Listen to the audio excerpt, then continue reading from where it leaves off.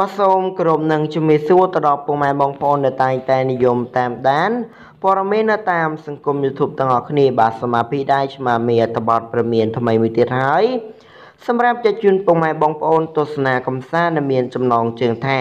តារាល្បីទេពតិនដារ៉ូប៉ះប្អូនស្អាតហេងវិសាល បង្កើតជាភាពរីករាយក្នុងកម្មវិធីទូរទស្សន៍ដ៏អស្ចារ្យបងធំប្អូនប្រុស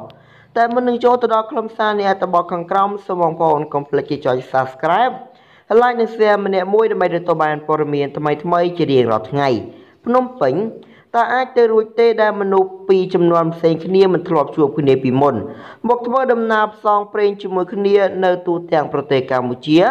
ហើយមានទំនាក់ទំនងល្អនឹងគ្នា បងធំប្អូនប្រុស ជាកម្មវិធីកំសាន្តតាមទូរទស្សន៍ថ្មីមិនធ្លាប់មានពីមុន ដែលមានការចូលរួមដោយតារាភាពយន្តដ៏ល្បីល្បីលោកទេពតិនដារ៉ូនិងតារាបាទវ័យក្មេងក្នុងបណ្ដាញសង្គមលោកហេងវិសាល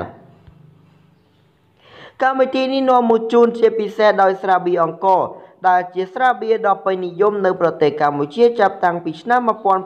1992ជាមួយវត្តមានចូលរួមលោកទេពតិនដារ៉ូនិងលោកហេងវិសាល ដែលនឹងជួបប្រទះក្នុងស្ថានភាពលំបាកជាច្រើនតារាទាំងពីរដួងនេះមានអាយុនឹងចំណូលបើចិត្តខុសគ្នានឹងធ្វើដំណើរជាមួយគ្នាធ្វើរឿងរ៉ាវជាច្រើនមិនធ្លាប់បាទធ្វើពីមុននៅខេត្តផ្សេងផ្សេងគ្នាទូទាំងប្រទេសកម្ពុជា កម្មវិធីនេះបាទ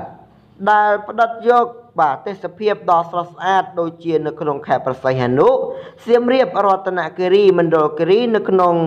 បាទ បាទរូបនីមួយនីមួយនឹងឃើញទេពតិនដារ៉ូនិងហេងវិសាល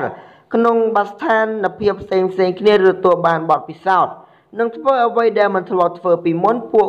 បាទគាត់ម្នាក់ម្នាក់នឹងបង្ហាញពីភាពប៉ិនប្រសប់ជាមួយបទពិសោធន៍ថ្មី ថ្មីក៏ដូចជាការមានទំនាក់ទំនងល្អជាមួយគ្នាបាទតាមដានបន្តជាមួយទេពតិនដារ៉ូនិងលោកហេងវិសាលបាទក្នុងវគ្គ2ដែលធ្វើដំណើរផ្សងព្រេងទៅក្នុងបាទ ខេត្តកោះកុងដែលគ្របដណ្ដប់ដោយព្រៃកោងកាងច្រើនបំផុតនៅប្រទេសកម្ពុជា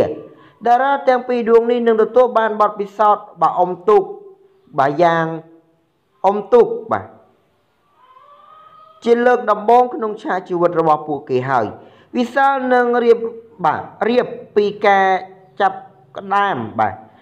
ពួកគាត់ទាំងពីរនឹងជួបតាមមនុស្សប្លែកប្លែកនិងហ្វេនហ្វេនជាច្រើនអ្នក